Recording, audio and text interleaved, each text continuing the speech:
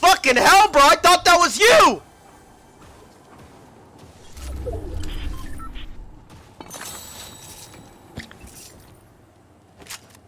God damn!